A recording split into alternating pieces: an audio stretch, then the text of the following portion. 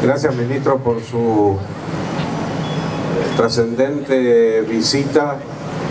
eh, no solo por lo que implica como compañero, como militante y como funcionario, sino por la mano tendida que hoy nos da la Correntina. El hecho de que estemos hoy con su visita tratando temas tan importantes y tan eh, que, tocan tantas la sensibilidad de los correntinos como es el transporte urbano de pasajeros, eh, como es la seguridad vial,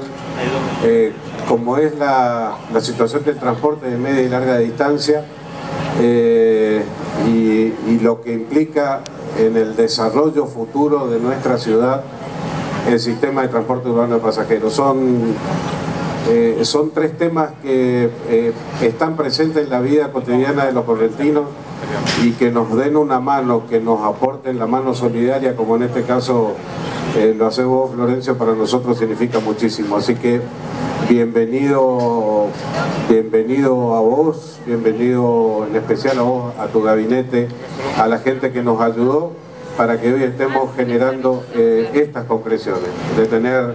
mayor capacidad de vehículos para nuestra para atender la seguridad vial urbana de los eh, de los ciudadanos de Corrientes, que podamos tener una delegación de la CNRT en Corrientes después de muchísimos años que dependíamos de resistencia, no es una crítica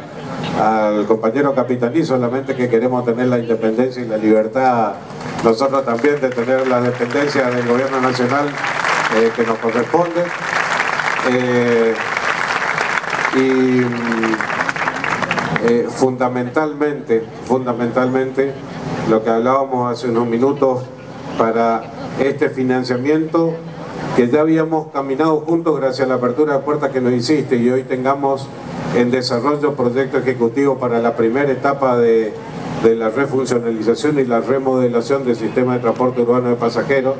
y que hoy hayamos podido conseguir también tu mano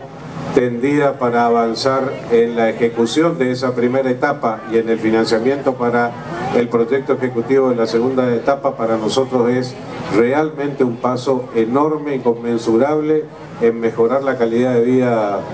en, nuestra ciudad. Así que hoy nada más, Florencio, que palabras de gratitud, de afecto y eh, lo mejor eh, para lo que se viene por delante porque casi es una cuestión de sentimiento poder trabajar, seguir trabajando en conjunto con. Palabras del intendente municipal, el ingeniero Fabián Ríos.